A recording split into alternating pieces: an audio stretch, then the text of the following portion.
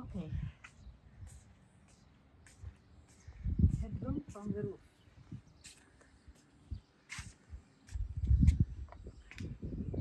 Of course, you know, maybe, oh, you, you should know, that we are, Hebron is divided into H1, H2.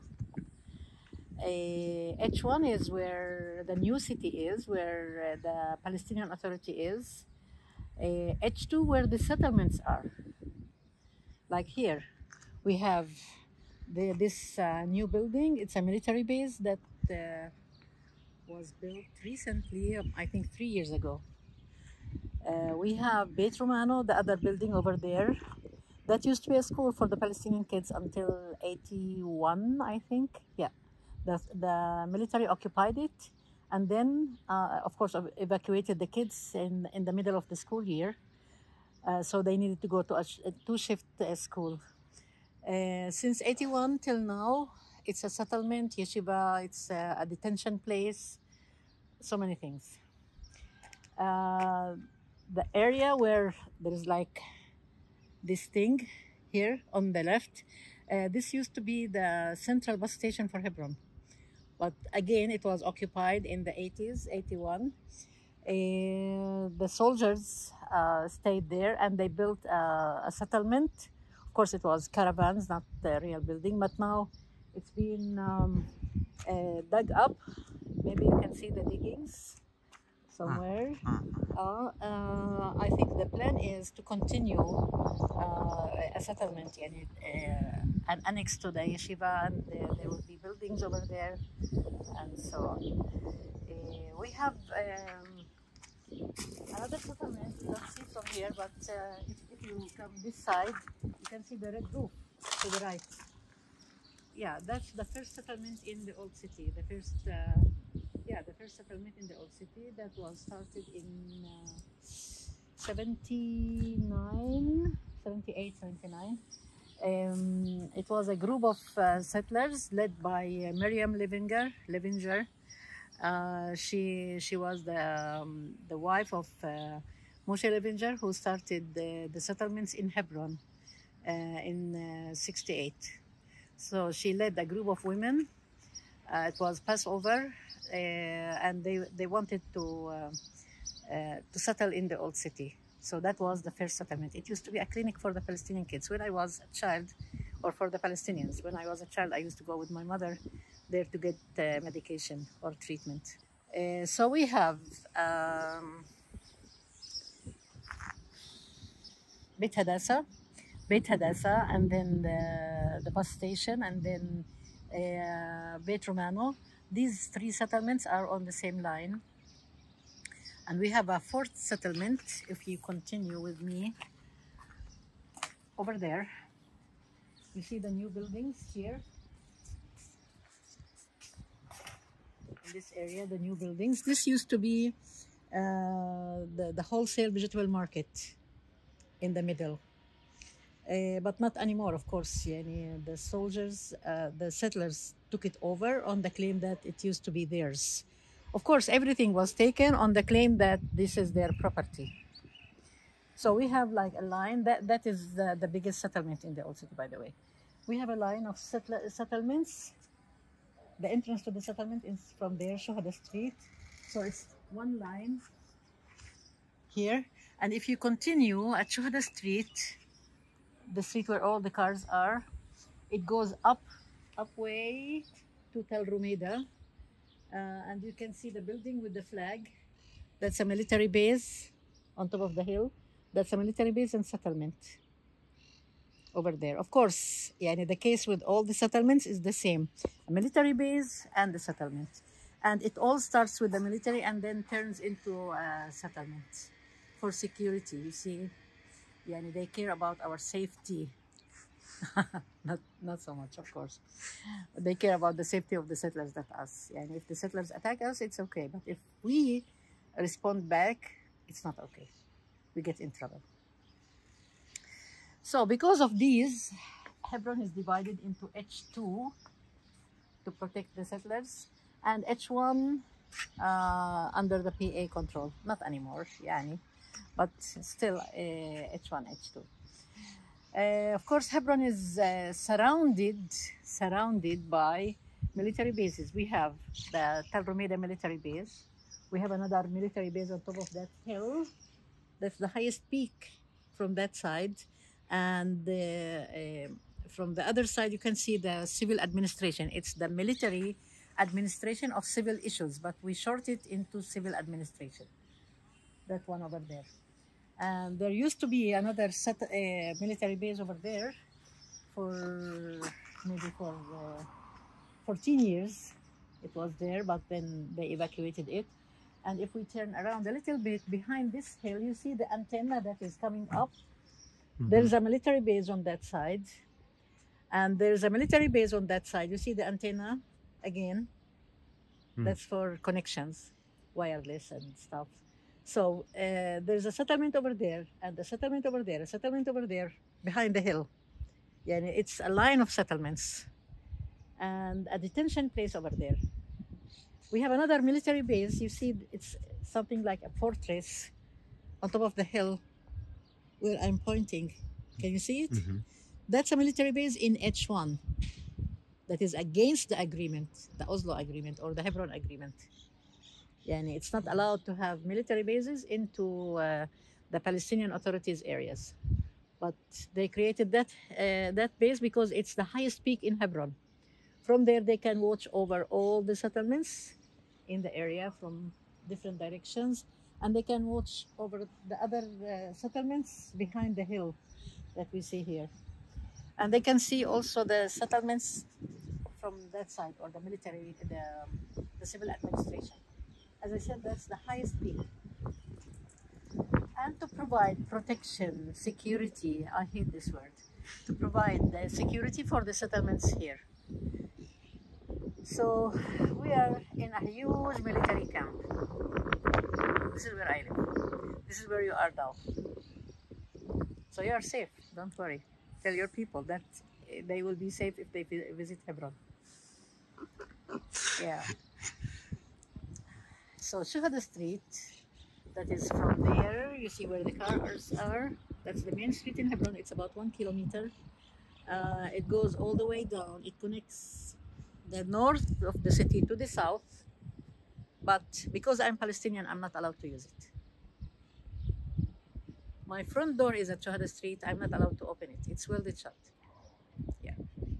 If I am to visit the mosque, of course I can go from the market, but from here sometimes it's easier for me. I can. If I want to visit my relatives on the other side, I need to go all the way around. Sometimes the gate from here, I will show you, the gate will be closed and I have no access from here, of course. Uh, so I need to take a taxi. To take a taxi costs about uh, 25 shekels for me to go to the other side. 25 shekels is like uh, $7. Why should I pay $7 when I can walk like five minutes? And it takes about 45 minutes to drive all the way around. Because I need to drive if I am to visit that side, which is five minutes. I need to take a taxi from there if the taxi comes to my front door, we will go all the way around 45 minutes to go to go there, to go there, which is five minutes from my house. Yeah, and it does cost effort, time, and money. 25 shekels here is yani, is a good amount of money and we can uh, buy a meal with 25 shekels and we say welcome to Hebron welcome to the apartheid you can see this wall this wall was put uh, during the Intifada about 22 years ago for security uh, from here, uh, this is Palestine. Sometimes not, sometimes it's Israel. On the other side is Israel. This is how the soldiers identify it. For me, it's all Palestine, of course, not Israel. And I don't want to be radical, but no.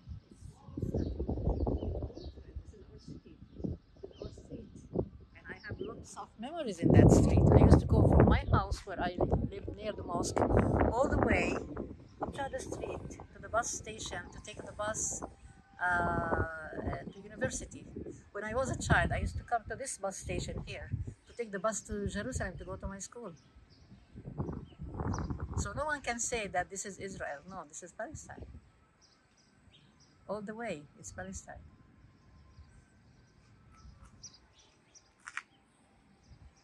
And I can't wipe up all uh, or wipe out all my memories because uh, someone claims that this is Israel or this is theirs. No, it's ours. And I was born here. I grew up here. I played here. Uh, I walked here. I lived here, and I'm still living. So it's, it's ours. Many times they they yelled at us to go home, go home. This is part of our home, our roof. And why to go home? But uh, they don't like us. They don't like a, to be visible or to be exposed by anybody. I remember one time I had people staying in the room there. They were from Britain. Uh, of course, I came to check on them in the morning. Uh, they were asking some questions and they taking photos. Then, at a sudden, I was looking at uh, the street down. I told them that the soldiers are coming to my to our house. They were surprised. Why the soldiers are coming? I said, "Well, you will see." When the soldiers came, they said, "You have to go down. You have to go home."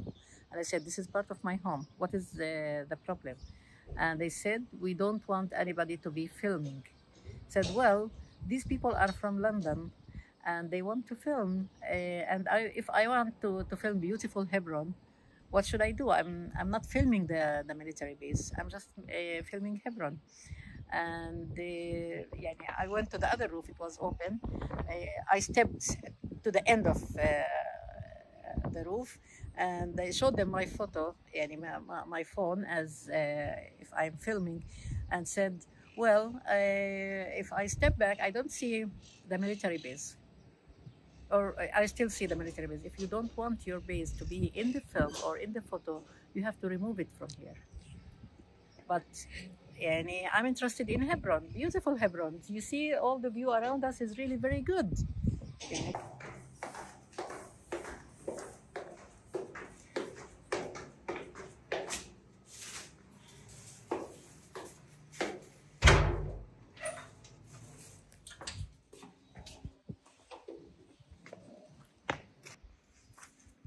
This side, this gate used to, to cut the road. Of course, this was Israel and this was Palestine.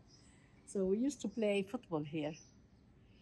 And the soldiers one time came and said, it was a Friday, and they said, we don't want you to play here. What? What are you saying? And they said, because you are disturbing the people on the other side. And I told him that, okay, we are not going to disturb anybody. What time uh, is there uh, Shabbat? And uh, he said, it's six o'clock. I said, okay, six o'clock. Yalla, itlai. Scared. Mm, Yalla, itlai. Okay. Uh, yeah, uh, he said six o'clock, and I, I said, okay, six o'clock, the kids will not be here. We will stop playing. But he came on six at six o'clock to check on me, and I told him I'm a teacher, and I keep my promises. I'm a leader here, and we do not lie. When we say six o'clock, it means six o'clock. Uh, another time he came and said, uh, "You are not allowed to play here. Why? Because these boys cause trouble." And I said, "What trouble?" He said, "They they make fire." And I told him, when we play football, you say we make trouble. When they play in the street, you say they make trouble. When they are at home, they make trouble. What do you want from us? And I uh, notioned to the kids to play with the soldiers while I was negotiating with the commander. And so the soldiers started playing football with the kids, and uh, the commander liked it. The soldiers are playing, and I said, "Yalla, play, play with the kids. You're here." Uh, uh, in the football uh, match, play with the kids. And he said, well, uh, I need to check with my commander. He was worried about the weapons, of course. Uh, I told him, we will keep your weapons, don't worry. we will watch on them. Uh, so he contacted the commander who was on the, on the roof from there. You see where the barbed wire. Uh, And the commander said no. So he said no. I'm not. I'm not playing with you. But there was one condition when he agreed to play with the kids. Uh, he said, if we win, you will not play here at all. But if we lose, I will tell you, and uh, it, it's a command that no one will come and disturb you. You will keep playing here. That was the condition, if they agreed. So when the commander said no, I said, well, we win. We win, and we will keep playing here. He said, okay, you win. Yeah. Wow. Victory. Yes, of course. and we are happy with these small victories, you know. It's something emotional. You need to be clever to deal with these uh, soldiers. Even in the hardest times, like these days, it's really very hard.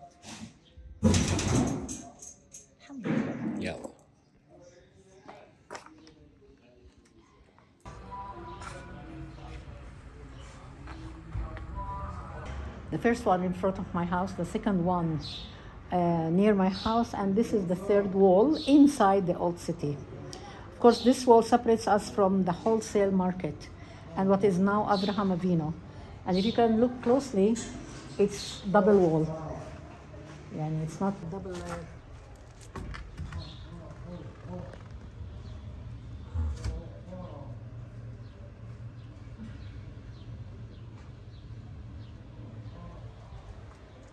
security. You see this mesh wire here? We put for protection. Now it's for protection. Because on this side, it's uh, Abraham Avinu. The settlers from there throw urine, garbage. Uh, sometimes they would power uh, chemical water like bleach, um, uh, gray water, uh, anything. We, we, we don't know what kind of water they throw. Sometimes rotten eggs. One of my friends who had his shop here many times got his uh, stuff in, uh, full of uh, rotten eggs. And he used to sell embroidery and uh, Palestinian dresses. Imagine a Palestinian dress would be full of rotten eggs.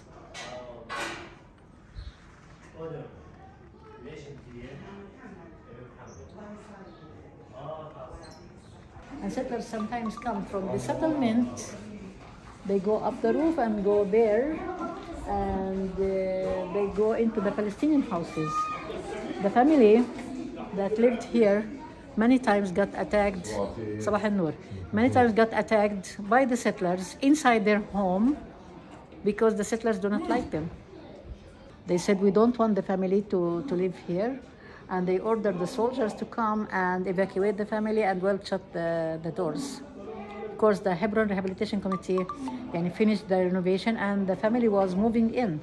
So the settlers objected and the soldiers well did shut the doors. When the, the man of the house opened the, the doors, he got detained and he paid 1,000 shekels fine. Yeah, because he opened his own doors. Yeah, of course.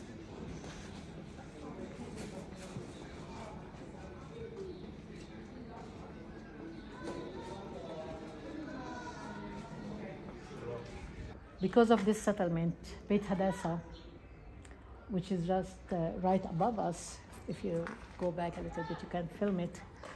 Uh, the whole neighborhood is closed, blocked off. For example, this used to be the gold market. Now it's the trash market. You see, all this trash is from the settlers. And you can see Beit Romano in front of us over there.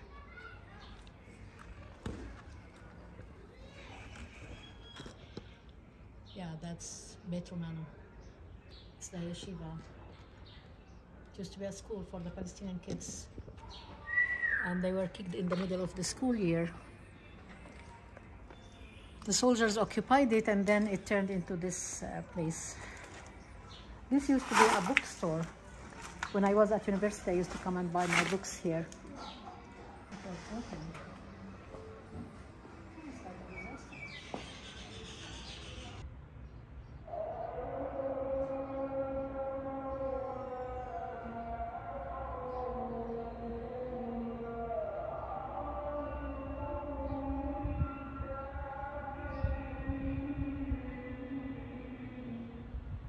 significance of this action is that uh, the kids are in front of the soup kitchen uh, that is uh, uh, following the steps of uh, Prophet Ibrahim, and the whole Hajj ritual is again following the steps of Ibrahim and Ismail. So there's like a connection between the two.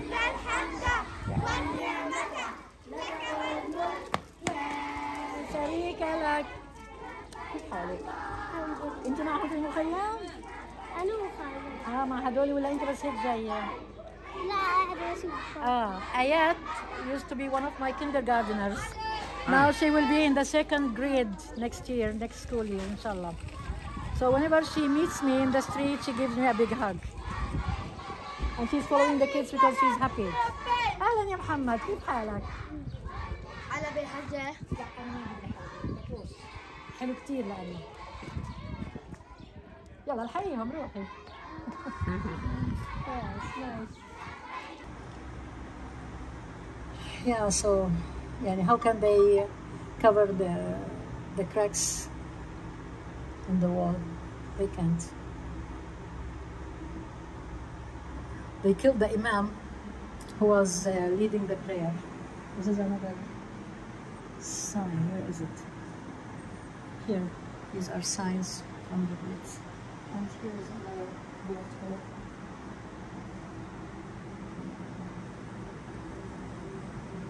And you were in the women's side Yeah, when it happened. yeah, not here. No. Here in this side, uh, my two nephews were. And one of them uh, ran out. Uh, the other one, uh, of course, they were uh, six and seven. Uh, the six-year-old told me that he pulled himself from underneath the bodies that fell over him, and he was hiding behind one of the pillars, watching uh, Goldstein shooting at people. He was scared, so he just uh, protected himself with uh, one of the pillars until he managed to, uh, to come out. At first we thought that he was dead, because it took time until he came out. Mm. But his brother ran away immediately and he did not wait. yeah, you know, children at the end. we are talking about a seven year old boy who was so scared. So he came out and he was yelling, They killed us, they killed us. It took them so long to come to the mosque, to come back to the mosque to pray. Hmm. Yani before the massacre or until the massacre, uh, these two nephews of mine used to come uh, three times a day to pray in the mosque and also to learn to recite the Quran. But after the massacre, they said, no, we are not going back. I don't blame them. And they were so scared, but uh, yeah.